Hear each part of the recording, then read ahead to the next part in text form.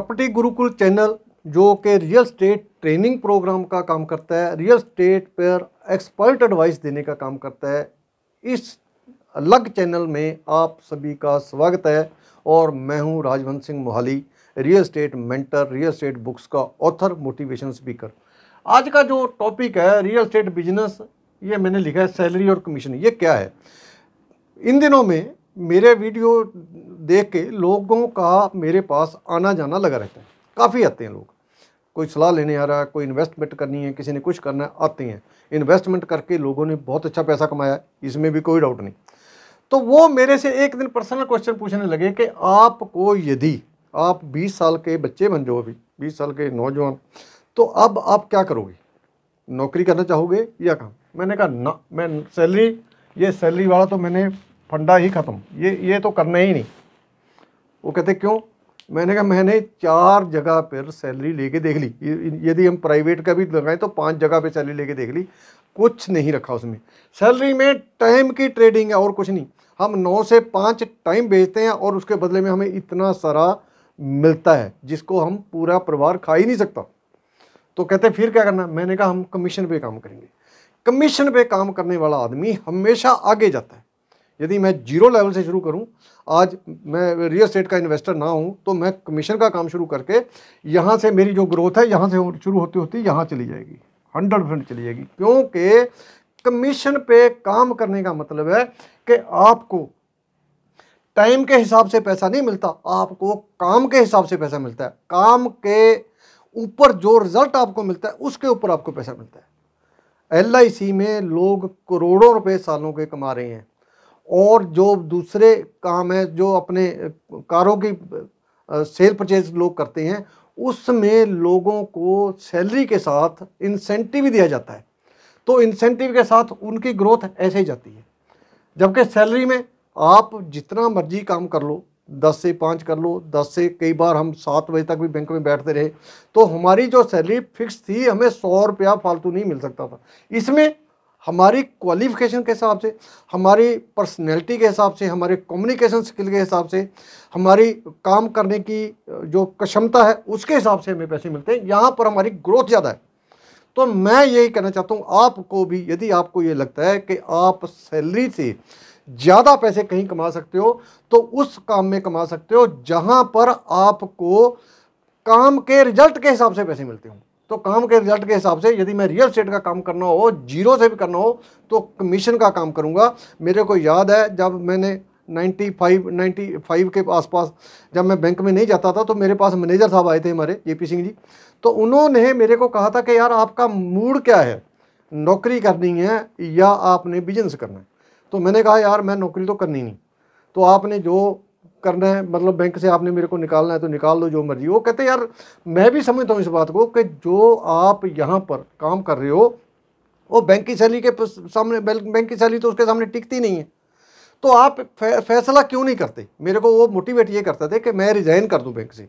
तो मेरा मन ये था कि वो मेरे को निकाल दें, ताकि मेरे पास एक चांस ये रहे कि मैं कोर्ट में जाके, यदि मेरे को दोबारा ज़रूरत पड़े बैंक की नौकरी की तो मैं दोबारा वो नौकरी हासिल कर सकूँ। तो मैं, मेरा मकसद सिर्फ़ इतना ही था, और कोई मतलब मकसद नहीं था। लेकिन जैसे जैसे समय के साथ क्लियर होता चला गया, हमने नौकरी खुद ही, मैंने अपनी नौकरी खुद ही छोड़ दी।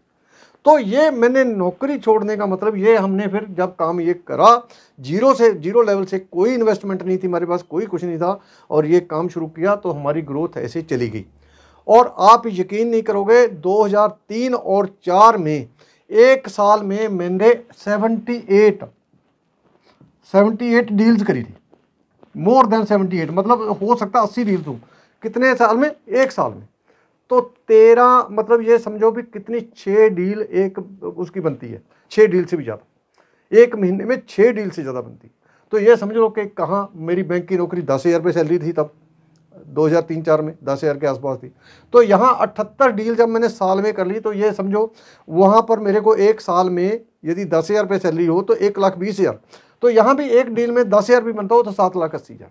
तो ये फ़र्क था मेरा काम करने का। ये जो मेरे को लोगों ने सवाल किया, उसका यही जवाब है।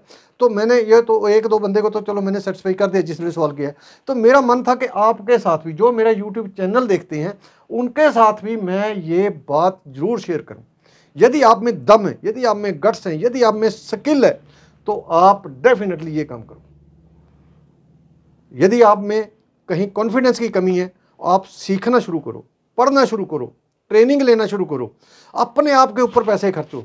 यदि जो आदमी अपने आप के ऊपर पैसे खर्चता है, उस आदमी की ग्रोथ होती है।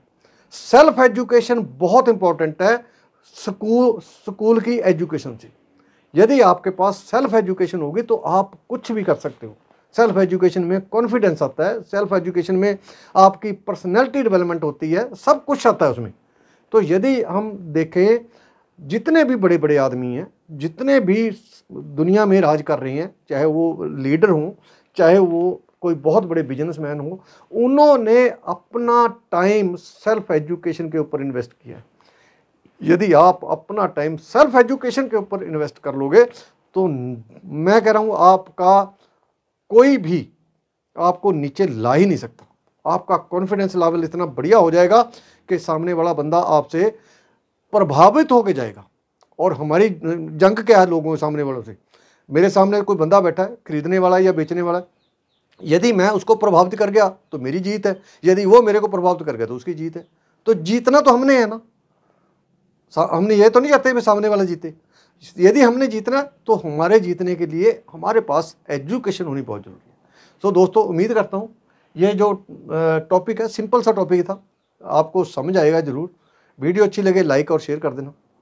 कोई सवाल हो कमेंट बॉक्स में। चैनल सब्सक्राइब करके घंटी वाला बटन भी दबा लो। ये मैं बार बार कहना पड़ता है मेरे को।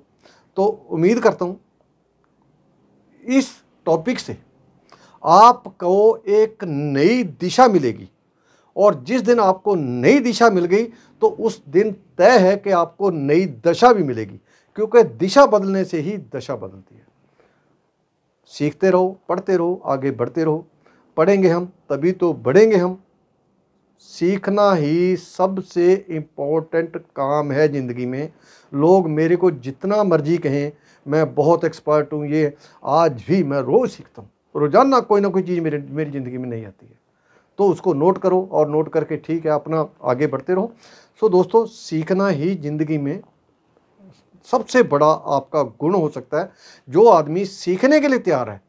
और जो आदमी अपने आप को बदलने के लिए तैयार है, उसको जीतने से, उसको कामयाब होने से कोई नहीं रोक सकता। थैंक यू वेरी मच मिलता हूँ जल्दी एक नए टॉपिक के